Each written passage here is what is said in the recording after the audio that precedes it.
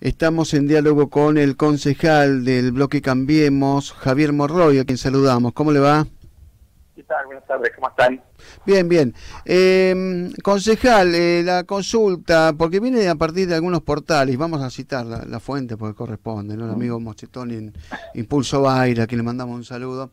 El tema de, bueno, hay un, una cuestión, una buena noticia, podemos decir, que es el tema de el superávit municipal a partir del estudio de la rendición de cuentas 2017. La primera pregunta es eh, cómo se llegó ¿no? a este tema del superávit municipal, teniendo en cuenta que en, todas las demás reparticiones, distritos, por ahí se andan contando las monedas de los rincones, y acá, bueno, hay una buena noticia de un superávit. Eh, un poquito sintéticamente, ¿cómo, ¿cómo fue toda esta historia? En primera instancia, lo que tenemos que decir que fue un muy buen año desde el punto de vista de recaudación, en lo que informaba PR, que ha habido un superávit que no se había emitido, se había proyectado y planificado una cantidad X de dinero a recaudar y se incrementó bastante más de lo que se había proyectado, lo cual, desde luego que esto es muy satisfactorio y, y, y aliviar, digamos, en parte a las cuentas municipales. Claro, claro. Más allá de que después, obviamente, lo que ha habido un importante plan de obra pública que se ha observado en las calles y que sirvió, digamos, para paliar esa situación y de alguna manera poder encarar eh, todas las obras que, ha habido, ¿no? Claro, claro. La buena noticia que sea por recaudación y no por ajuste, porque sabemos que hubo algún ajuste político y la pregunta es si solamente fue ajuste político, por ahí hubo un ajuste del cual eh, la oposición se puede agarrar como para criticar eh, algunas de las medidas tomadas el año pasado. No, en ese sentido no ha habido ajuste relacionado con el tema empleado ni nada que se parezca, sino que lo que se trató es de redimensionar el Estado municipal, eh, tratando de, de, ayornar algunas direcciones en distintas áreas que pudieron ser fusionadas y de alguna manera lo que se trató de eliminar fueron algunos cargos políticos para permitir, digamos, un mejor funcionamiento con el dinero que, había, ¿no? Estos son distintos ahorros que ha estado haciendo el Estado municipal que en definitiva permitieron que podamos eh, haber tenido las obras que tuvieron todo el año pasado y la continuidad para este año. ¿no? Claro, claro. Eh, digamos, eh, hablando de la recaudación, porque por lo que se ve es una recaudación pura, sana, por así como dicen los economistas, que no fue una un simple aumento eh, que va mm, ligado al incremento inflacionario, sino que por ahí esto hay que relacionarlo con algún, algún repunte de la actividad económica.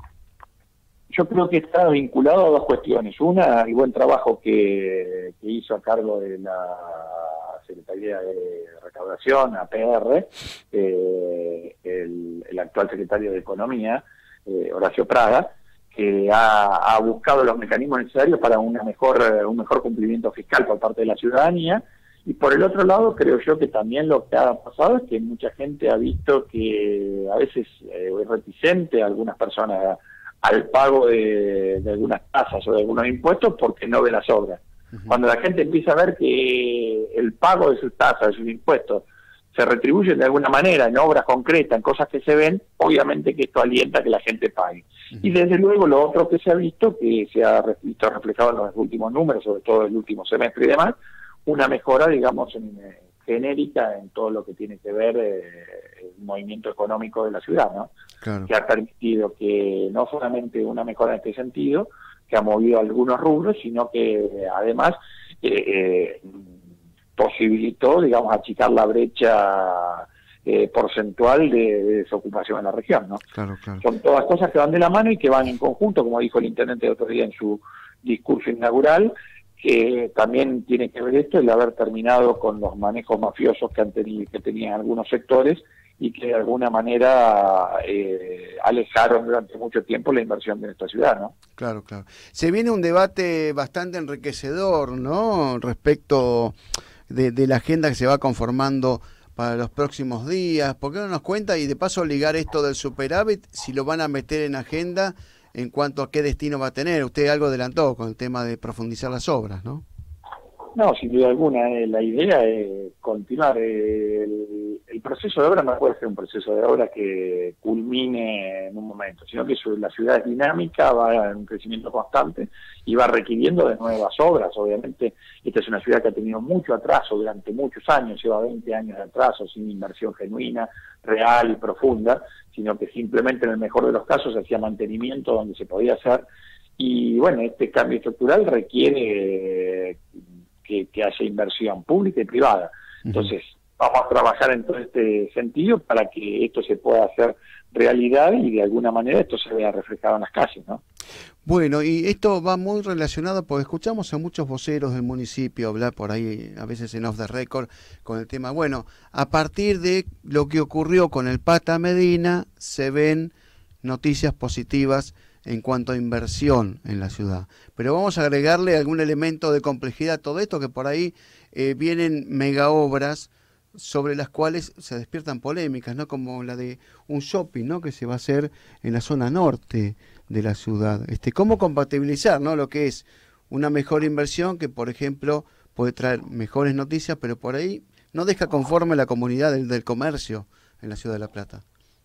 Esto tiene que ser hecho con responsabilidad. En todo momento el intendente dijo que las puertas para la inversión privada están abiertas en esta ciudad y desde luego tenemos que dar las garantías para que se pueda trabajar en libertad y lógicamente en este sentido, por ejemplo, con esta famosa polémica o supuesta polémica de, del mega shopping. Tampoco se trata de un mega shopping, se trata de una obra integral de un montón de, de aristas que va a generar el puesto de trabajo no solamente en la concreción, sino a posteriori por las distintas actividades que se van a realizar que esto tiene, el Estado tiene que estar para regularla, o sea, para que nadie quiera hacer algo que no esté permitido o que se crea por, por más que venga a invertir que pueda hacer cualquier cosa. El Estado hasta acá, el Estado municipal para decirle no, hasta acá pueden o hasta acá no pueden, y además articular con los sectores de, del empresariado local para que ellos puedan participar también en, este tipo de emprendimientos. La idea es que puedan ser parte del mismo. De hecho, el intendente está haciendo de polea entre quienes quieren hacer inversiones importantes y los empresarios platentes para que de alguna manera participen todos y se puedan generar más puestos de trabajo ¿no? y un mayor desarrollo económico. Perfecto. Eh, yo quería fusionar dos temas en uno como para la última pregunta de esta entrevista, porque se, se habla mucho de que se ve una agenda cargada de temas, entre ellas la del código de convivencia, este, que bueno, mucho se, se ha hablado, y por ahí muchos lo relacionan con algunas cuestiones que tienen que ver con piquete sí o piquete no, ordenanza antipiquete y demás. Eh, ¿qué, hay sobre este tema del Código de Convivencia? ¿Qué es lo que se va a debatir realmente? El Código de Convivencia es algo bastante más profundo. Es transformar un simple código contravencional, o sea, un código que simplemente penaliza algunas conductas inadecuadas, en un código de convivencia. ¿Qué significa esto? De la vivencia que tiene el ciudadano en la ciudad, donde todos tenemos derechos y obligaciones, tanto sean los los vecinos, por un lado, y principalmente el Estado. Entonces, significa realizar un marco de reglas de juego para tener una mejor convivencia, para vivir mejor, para que todos tengamos una mejor calidad de vida. Entonces, de eso un poco se trata, en eso está trabajando, no tiene una sola lista, tiene que ver en el modo en que construimos, en el modo en que cuidamos los espacios públicos, el modo en que nos trasladamos, el modo en que podemos tener derecho a la protesta son todas cuestiones que, se deben trabajar de esa manera y, bueno, lo que se está buscando con esto son los consensos necesarios para que la sociedad en general tenga una mejor calidad de vida. Perfecto. Javier Morroy, concejal en Cambiemos en la ciudad de La Plata, muchísimas gracias. No, gracias a ustedes. ¿eh? Bueno, saludos entonces para Javier Morroy, concejal, hablando de todo un poco, hablando de este tema, ¿no? De el superávit en las cuentas municipales.